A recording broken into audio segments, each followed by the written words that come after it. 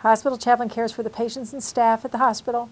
That is the smallest nutshell. Maybe a walk-in from bath or a trauma, and we are able to provide emotional and spiritual care. Worship, visitation, rites and sacraments, some religious education, lots of pastoral counseling. Uh, there's a good deal of anxiety, fear, uh, anger. People are dealing with all those emotions. We meet the critical patients in the trauma bay.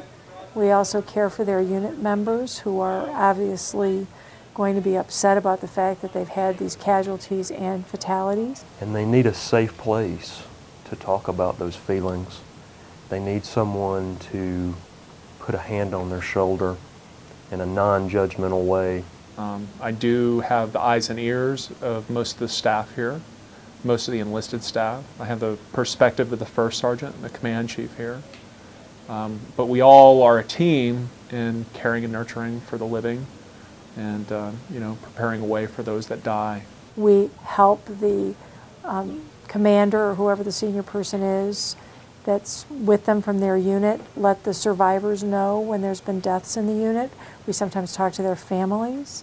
Um, we sometimes help the ambulatory patients visit the critical patients when they come out of the OR, and we care for all the staff that have cared for them. And I can say from experience, I if you walk by the chaplain's office, you see hospital personnel in there, in their office a lot, but you also see the chaplain down here. I mean, they've come down several times asking us, you know, do we need prayer? Is there anything they could do for us? Even if we don't worship with them at their Sunday services, they become our friends, and they know almost everybody by name in the med group. So I know that they're there. Um, does it make me feel better? Absolutely.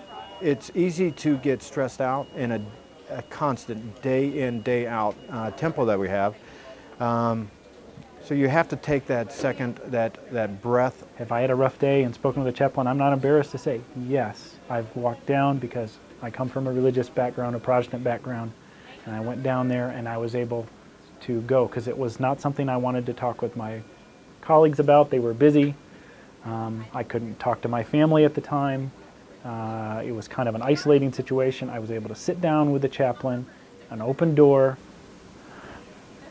Just you're able to vent, but it was great. So I've experienced firsthand. It's wonderful to have the chaplain there. Absolutely. I like to think of it in terms of what I do as a, as a ministry of presence. If they're unconscious or if they're intubated, the doctors have told us that they still may have the sense of hearing. And so I'm always aware of wanting to come close to them, maybe speak to them, let them know that I'm here. You know, the other day we had a patient who was just had devastating injuries, and because his blood pressure had dropped so dangerously low, they had to pull back the sedation. So he was conscious as all of these doctors and nurses and techs were talking about him. Um, and the medical folks cannot take time away from life saving procedures. But our job, we're set aside to love them. And so I was able to go and, you know, look into his eyes and stroke his forehead while they were saying these things and say, the doctors are talking about what you need so that you can, you know, heal, so that you can get well. When the chaplain comes up to the bedside, you just see the, the furrowed brow disappear. And you can see sometimes a smile light up on their faces. If you happen to see somebody who clicks religiously with the chaplain who's very religious and you got a religious chaplain of that same denomination, boom. And there's times when the patients are very upset because they're fresh from an injury, and there's times they've had some moments to think about their injuries or their illness, and they're there to help support them and help talk to them and validate their concerns and really add a part of their care that, again, I think sometimes we don't often are able to fill. And so they're very important.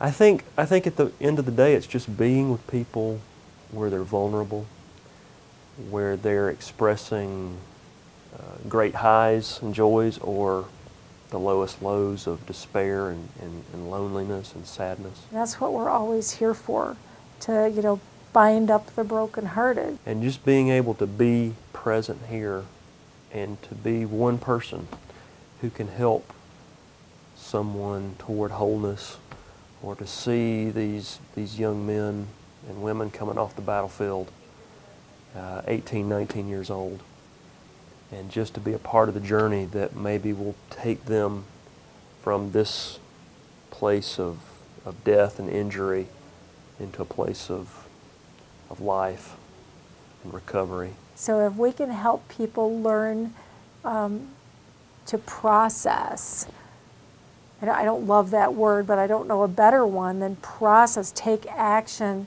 to bind up their broken hearts, to process grief and loss, then we can have more people that are happier, that are more resilient, that are just able to deal with the heartbreak of day to day life.